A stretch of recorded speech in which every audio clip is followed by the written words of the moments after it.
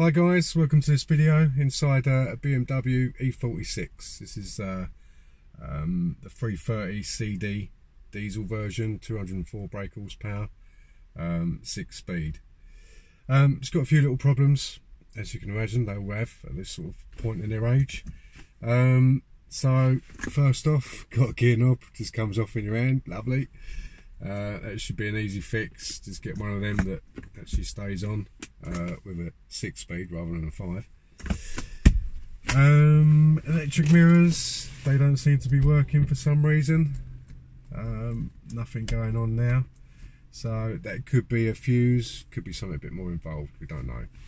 Um, we've got a glove box, for some reason that's not opening.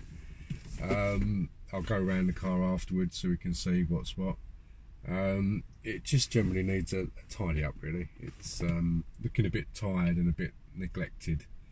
So um, inside the cab, they're the major issues at the moment. Gear knob, electric mirror is not working, and uh, access to the glove box. So a few other little issues to look out for um, when you're inside the cab is make sure your airbag light isn't on can be a common fault with these and obviously MOT failure as well. Um, temperature gauge, make sure it's sitting bang central right in the middle. Uh, if it's not, like on this one, um, could be a thermostat, I don't know, uh, some other sort of issue obviously going on there. Um, any second-hand car, look at the wear and tear on the steering wheel, look at the condition of your pedals, your seats. These seats, always look at the wear and tear on the bolsters. Uh, check the electrics, make sure they're working, check your windows, check the roof, um, the uh, direct skid control, DSC button, uh, obviously make sure that goes on and off, um, otherwise it can be obviously another problem. Um, but yeah, just check everything. Whenever you're going around a car. Look at the whole condition, uh, windscreen wipers, screen wash, the whole lot, all the lights, put the lights on, um, check the pixels on the LEDs on the back, uh, the window alignment, especially on the convertibles. Um, when the windows are all going up, normally the rear quarters can be a common problem where it just misaligns. Um, it's quite annoying, but this one seems okay on that that particular part. Oh yeah, the ceiling, the uh, the lining on the ceiling, make sure it's all nice and tight, not hanging down. Because uh, obviously, if they're hanging down, then they can get caught um, and that could lead for other problems. Speakers, yes, check the speakers. Um, door speakers tend to blow, so uh, obviously it sounds quite nasty. Um, so always check all the sound system, going all round all four corners, um, and checking the, the fade and the balance from side to side. Cruise control, check your cruise control make sure that goes on and off when you're on your test drive. Um, obviously it's a nice function to have. So the beloved mirrors here we can see ignitions on.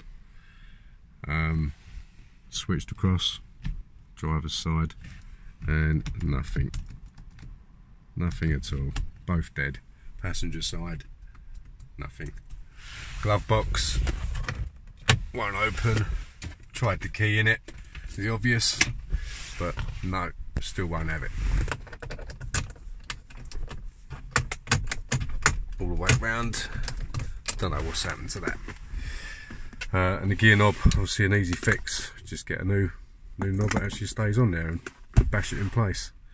A um, little bit of tidying up on the, the plastic there, may need to replace that. Uh, not too sure as of yet. Um, the leather, try and bring that up with a little bit of a restore get the right colour. Someone's obviously had a go already and didn't do a very good job of it.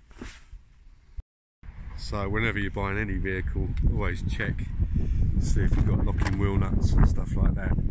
And uh, have a look underneath just to see if you've got any water leaks or other corrosion.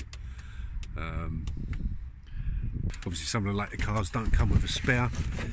This one's got the spare in there so that's okay the battery cover looks like that's been broken um, but obviously that's where your battery is same as the 5 series